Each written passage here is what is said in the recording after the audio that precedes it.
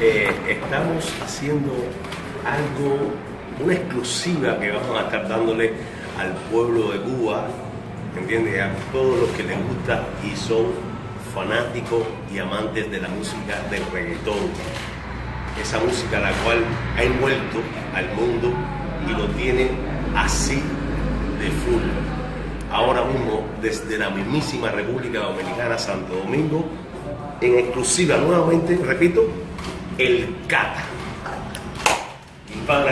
¿Qué es lo que, como dicen aquí en Cuba, es que hola? ¿Cuál la vuelta, chico? Eso es, Cata, ve acá, mano.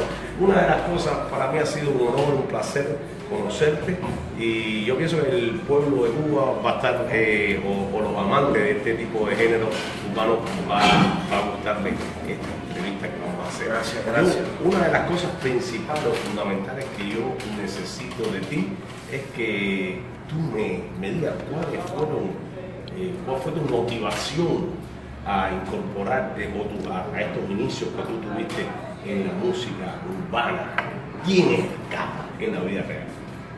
Mira, yo soy un ser humano común y corriente, un muchacho con, con- con deseo como cualquier persona de, de subsistir dentro de la industria, seguir subsistiendo, seguir trabajando seguir colaborando como se ha hecho hasta ahora.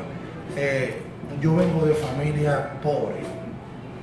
Te digo esto porque eh, muchas personas quizás te dirán, pero ¿quién es el Cata? ¿De dónde viene el Cata? Exacto. Como el Cata, si es el que nos imaginamos, que ha colaborado con etcétera, etcétera. Bueno, mi, toda la vida yo siempre tuve la ilusión, el sueño, el deseo de ser artista. Y gracias a Dios hoy soy artista. Es una realidad, es un, un mérito Que no se te puede quitar. no, y, que, y que me siento orgulloso de que cuando yo padezca, que muera, que pase a la historia, quedan canciones eh, inolvidables que han sido éxitos para la generación. Y no cualquier tipo de canción, no cualquier tipo de canción, sino canciones que, que yo estoy seguro que serán retomadas, que seguirán viviendo en otros cantantes. Y eso me enorgullece bastante. Pero ¿qué te digo, Ceres, sobre todas las cosas?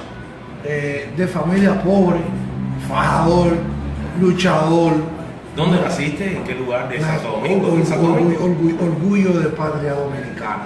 ¿Verdad? Sí. En Quisqueya, eres quisqueyano, ¿no? Y que ya no, papá.